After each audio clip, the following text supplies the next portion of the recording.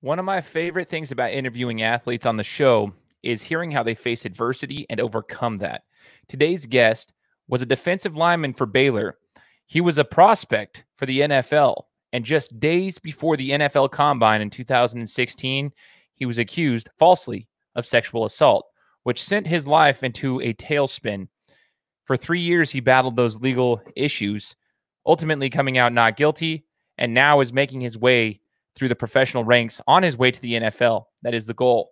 But today we're going to learn about his career, how he's overcome adversity, his mindset, and much more. You don't want to miss this episode of the Game Time Guru. So, what time is it? Game time. This is the Game Time Guru podcast, where I interview sports figures from all over the world to help deliver a panoramic view on sports. So, whether you're a former athlete, one of the crazies, or simply a casual sports fan, this is the perfect show for you as we peel back the curtains and learn from our guests every single week. I'm your host, Shane Larson, and I'm helping you see sports through a different lens. What's going on, everybody? Welcome out to the Game Time Guru podcast. My name is Shane Larson, host of the show for the last four and a half years. Want to give a special shout out to all the listeners who are out there, especially those who are tuning in for today's episode. Big shout out to you guys because you're the reason that we've reached 92 different countries, over 69,000 downloads of the show as we continue to grow across the entire globe. Now, today's episode super special. We're going to be bringing on a football phenom, a guy who has a, a very unique journey, a, an inspirational uh, journey and story to share with the rest of us. We're going to learn about his hard work ethic. We're going to learn about his journey and and what he's up to now and what we can expect to see from him. His name's Shawn Oakman, and uh, we're excited to have him. So, Shawn, thanks so much for joining the show, man. Ah, thank you for having me. Thank you a lot. Absolutely, brother. So, you know, Shawn, obviously we we we rewind the clock a little bit. You know, you're you're a big guy. We you kind of got famous when the entire like meme started against Michigan State. The whole, you know, the big old meme that went across the entire globe. Everybody saw that you were like this big player for Baylor, big time, big time uh, athlete. But I want to rewind the clock even more because that's when the casual fans started realizing like who you were, right? The casual fans, those who didn't actually pay attention but you've been playing ball for quite some time and you had a journey up until then. So can you talk to the the audience a little bit about your football journey and um, maybe why you chose to play football at 6'9", uh, 290 rather than playing maybe basketball or something of that nature where a lot of people, you know, they have questions about that. They're like, man, he's a big dude, but I wonder why he's not on the basketball court. So kind of gives a little rundown of your, your history in sports as, as a whole. Well, I come from Philly. So, you know, Philly like a, a basketball city. You know, so it was like basketball or nothing really. You know what I mean? I ain't played football until I was about a freshman in high school. So that's like that's kind of late for like most people. But uh, you know, won a state championship in basketball, all that good stuff. Had scholarships to go play basketball, plenty of places. But you know, um, I kind of got like that Shaq effect during uh during my time playing and shit.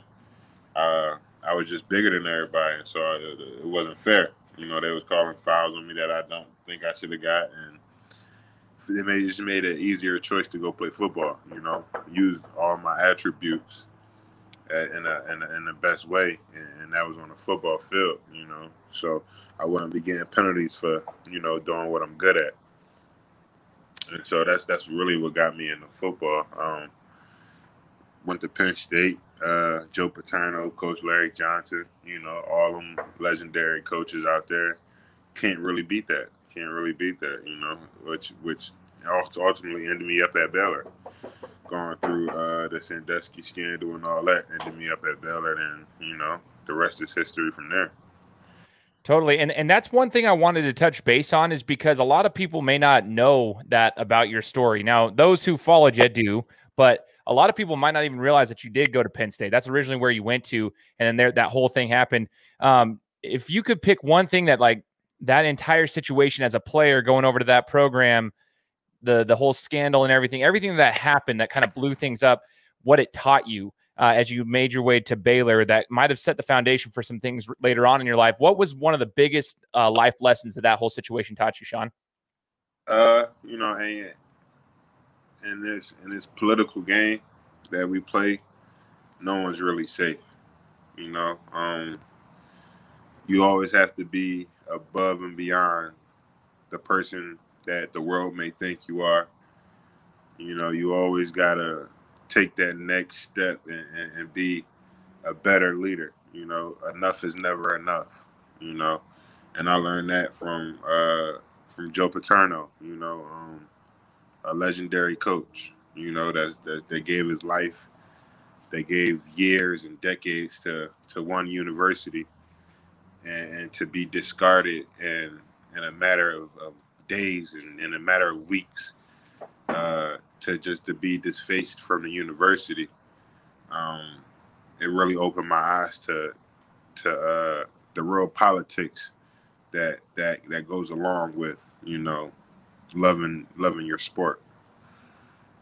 Interesting. Totally true too. So I think I mean especially hearing it from somebody who was kind of close to that situation just being part of that program and being there that's actually like super important for us all to remember as well.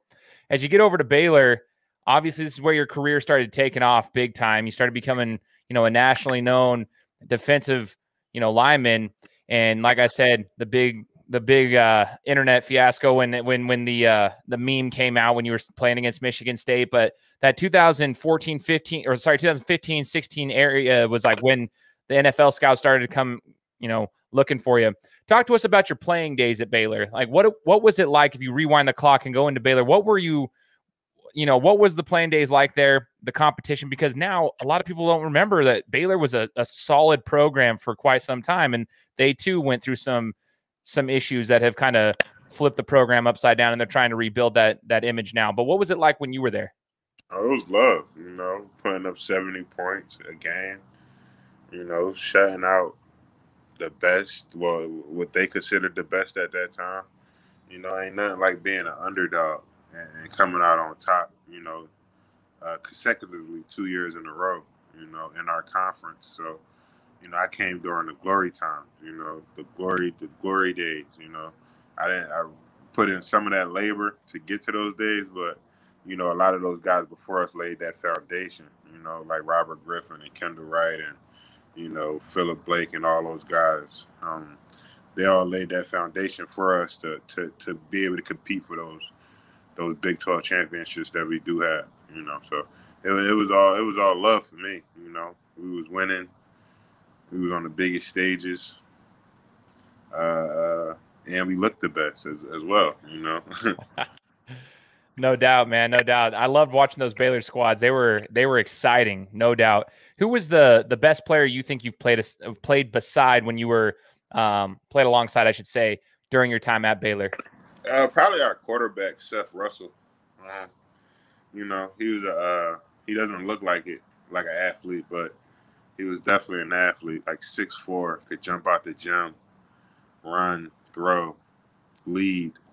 Um, but he broke his neck during the game, you know, so it was, that kind of ended his career kind of short. So interesting. I it, it's it's interesting you say that because he didn't look like an athlete, but to hear from you, somebody who was around him, that is that's yeah. good to hear.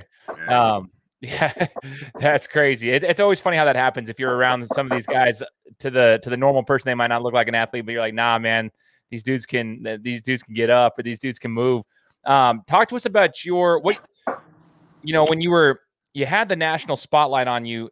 Was that tough as an athlete for these younger athletes out there that might be listening to this show across the globe?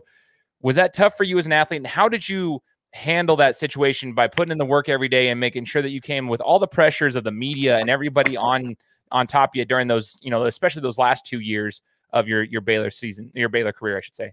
It really wasn't that much pressure, you know. Um, luckily for uh, like for me, I had I had great people around me. You know, I had great coaches. You know, and they always remind me not to eat the cheese. You know, because at the end of the day, like they gonna praise you and they gonna hate you at the same time. So you just take it with a grain of salt. Like, you know, my phone was blowing up from the media, but like the media can't get you into no combine. The media can't get you into no national championship. The media can't do none of that stuff for you.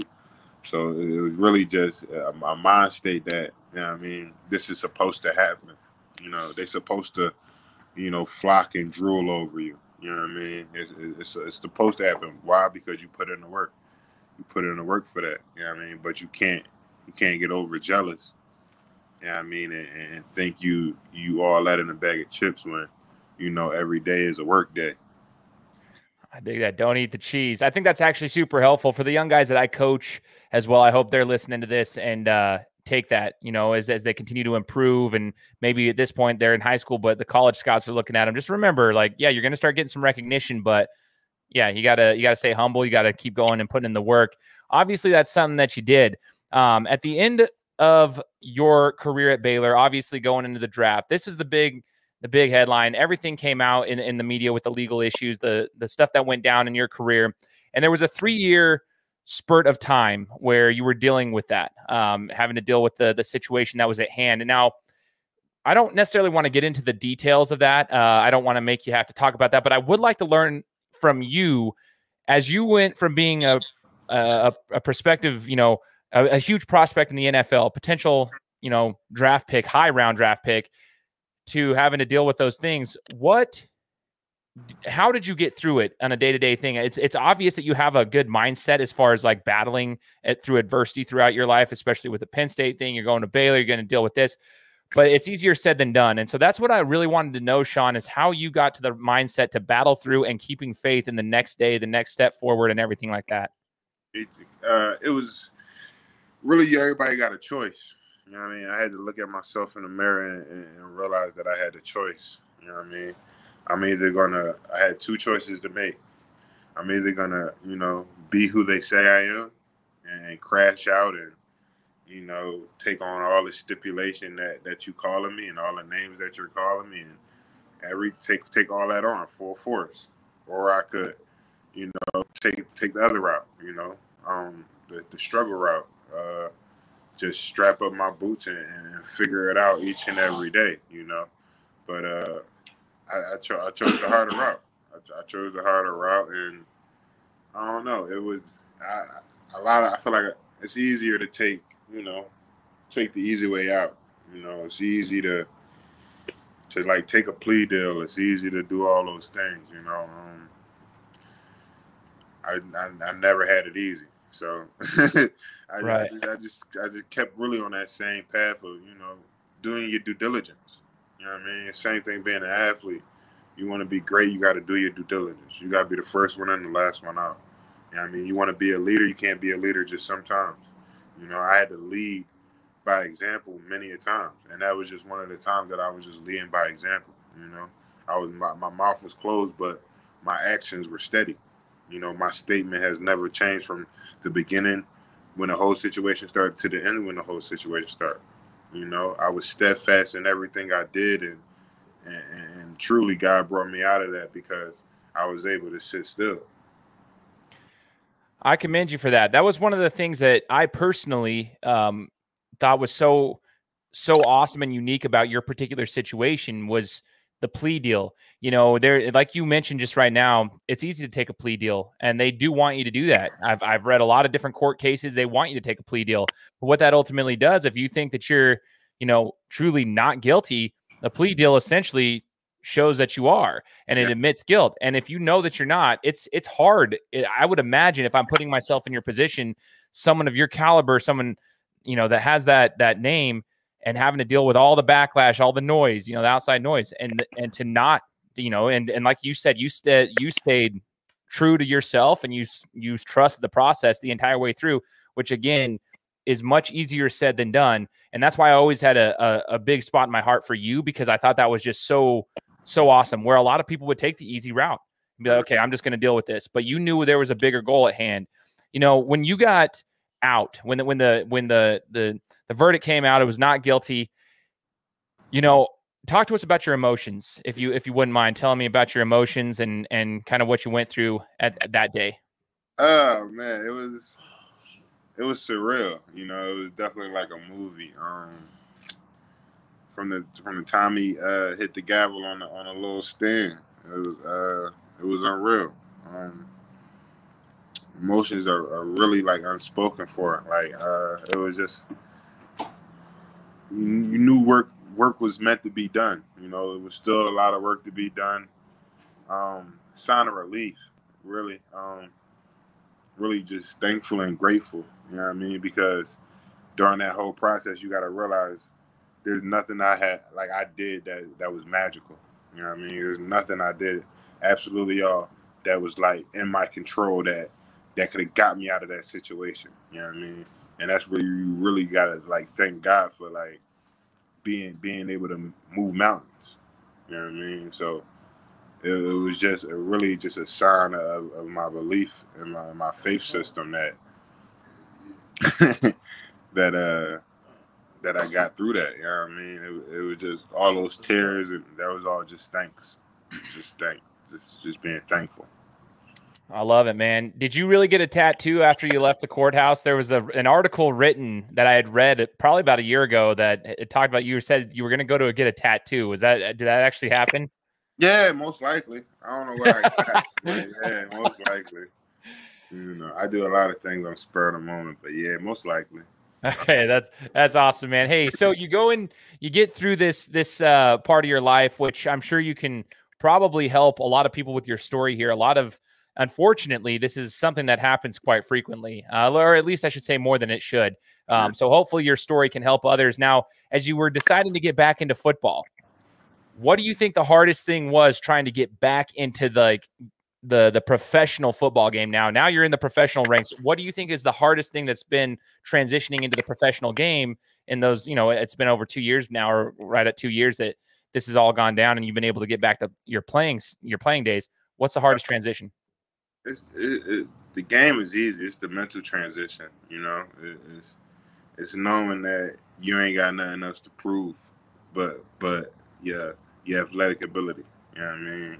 It's, it's, it's being able to block out the noise. It's it's maturing. You know what I mean? It's it's being able to be a leader and be a follower at the same time. You know, because you, you deserve, you think you deserve more, but you, you in your position where you gotta you gotta you gotta follow you know? And and, and the greatest leaders are some of the greatest followers. So i'm in a position of, of great height you know? Um, i'm surrounded by great guys you know guys that, that's been in the nfl guys that's you know made a name in the cfl and, and i'm in the perfect position where where their experience and, and and their abilities is just gonna catapult me to exactly where i need to be I dig that. So iron sharpens iron. You're surrounding yourself with the right types of people. What I thought was interesting as well, Shawn, as you get out, and it was during the time that the XFL was going on. You had an, a, a, short stint with the XFL, and I'd like to know your thoughts on the XFL um, as an organization while it was still going before the pandemic hit. I've spoken to a few players that actually had opportunities to play there. What were your uh, thoughts and, and the experience for you overall? Um, were you grateful for the XFL? Did you feel like it was a good experience to get some game reps in, or what was your overall thoughts there?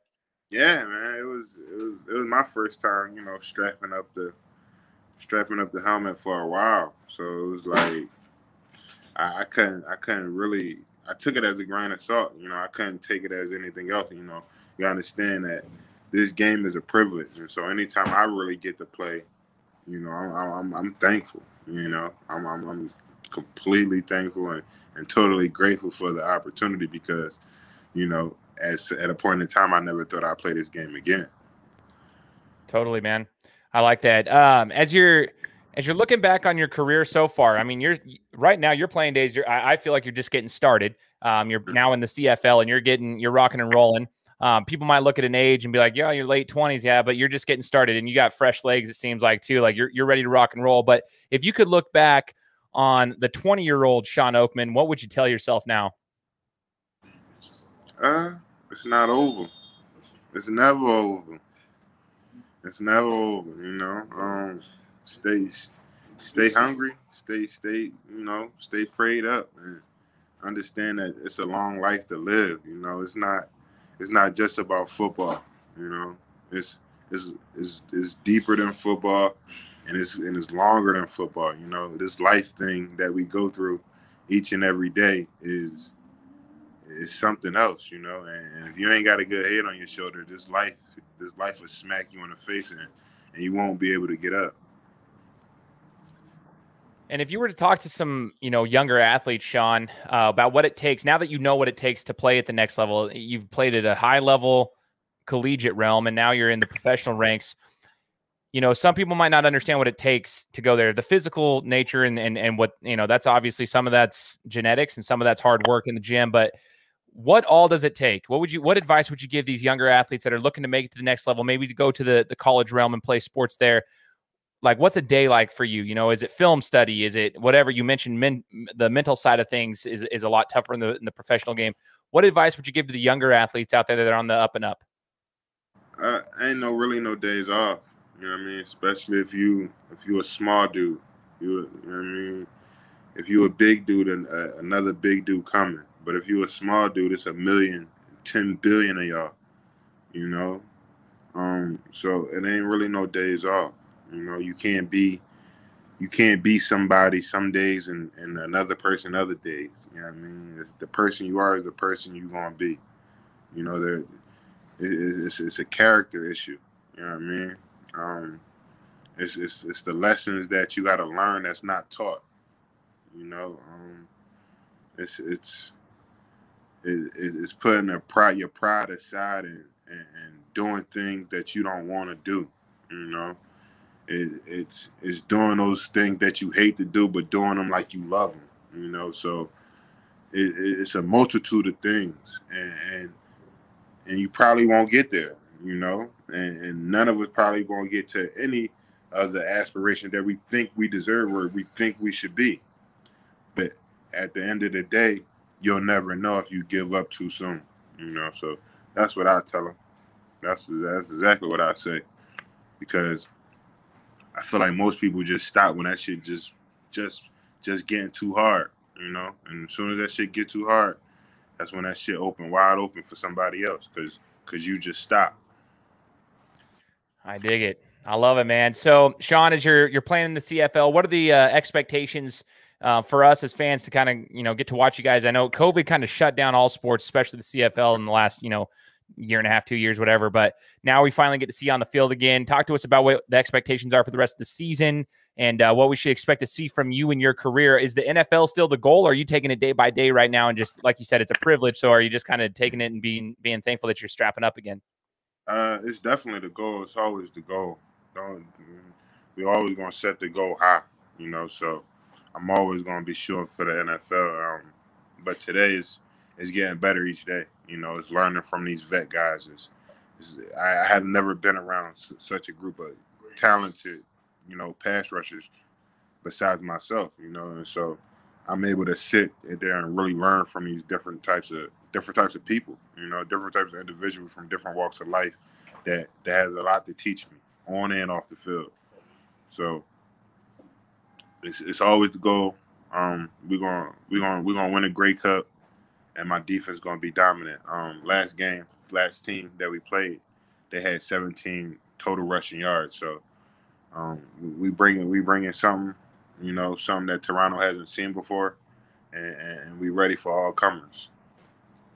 I dig it. I look forward to watching the rest of the season and seeing where you take your career. And I just want to say thank you, Shawn, for taking the time out of your day to uh, speak with us here on the podcast and just share your story with us. It's uh, it's inspiring for me. Adversity is something that you're not unfamiliar with, but you've been able to overcome it, and that is super cool to me. I love to learn from people like yourself and uh, just hearing you know the steps that it takes to get through it. And I, I'm inspired by your story. I just want to say thanks once again for joining the show today, man. Nah, thank you for having me. I appreciate it so much. Absolutely, brother. For all those out there, make sure you're subscribed to the podcast. Tune in next week. We'll be coming to you with another interview. Take care. Guys, thanks so much for listening to another episode of my show. Now, if you could go and do me a favor, head over to iTunes, give me five stars, and leave me a review, it would be greatly appreciated. Thanks, guys. Appreciate your support.